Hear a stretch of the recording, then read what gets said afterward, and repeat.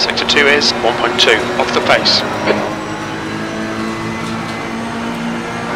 The gap behind is now 2.1.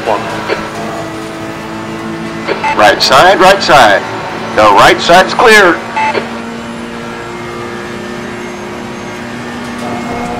The leader has just done a 220.31.